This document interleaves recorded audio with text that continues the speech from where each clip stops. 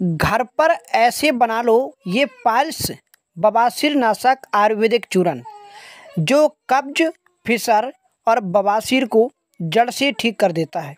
जी हाँ दोस्तों, अगर आप ज़्यादा से ज़्यादा कॉन्स्टिपेशन कब्ज से परेशान रहते हैं बवासीर से परेशान रहते हैं पाल्स से परेशान रहते हैं, अगर आपके मस्सों में दर्द होता है, सूजन होती है, मस्सों में जलन होती है, या फिर फिसर जैसी समस्या आपको हो गई है। तो एक ऐसा आयुर्वेदिक नुस्खा बताऊँगा, जिसका प्रयोग करके आप इन सभी समस्याओं को जड़ से ठीक कर देंगे। तो नुस्खा बनाने के लिए आपको लेना है दंतीस पत्ता सूखा बीस ग्राम। आपको लेना है आंवला सूखा पचास ग्राम। आपको लेना है हरा चिरायता, यहाँ पर दस ग्राम। आपको लेना है ईसब गोल की बोसी सौ ग्राम। आपको लेना है चित्रक जड़ दस ग्राम और आपको लेना है गिलोय गुरुची दस ग्राम। साथ ही साथ अमरूद का सूखा हुआ पत्ता लीजिए आप बीस ग्राम और बेलपत का गूदा आपको लेना है दस ग्राम। ये कुछ जड़ी बूटियाँ जो कि आपको लेनी है। तो जड़ी बूटियों को लेने से पहले आपको ये ध्यान रखना है कि सभी जड़ी बूटियाँ अच्छी हों एवन क्वालिटी की हो साफ़ सुथरी हों।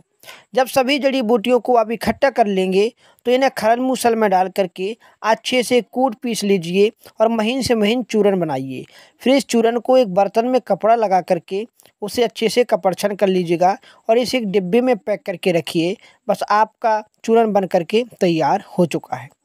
अब देखिए, अगर आप घर पर पायल्स नाशक चूर्ण बनाते हैं तो इसको बनाने के बाद आपको थोड़ा परहेज की आवश्यकता है। पहले आपको परहेज करना है। आपको तली भुनी बादी वाली चीज़ें नहीं सेवन करना है।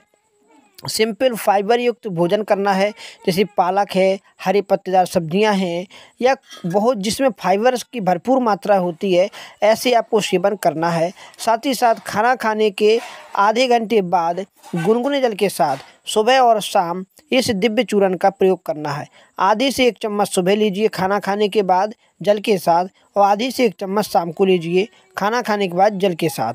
अगर आप ऐसा दिन में दो बार सेवन करते हैं तो कुछ ही दिनों में आपका पाइल्स, आपका फिसर और आपका कॉन्स्टिपेशन बिल्कुल ठीक हो जाता है। मस्से मुरझा जाते हैं, मस्सों में कोई दर्द नहीं रहता, कोई जख्म नहीं रहता, कोई खुजली और जलन भी नहीं होती।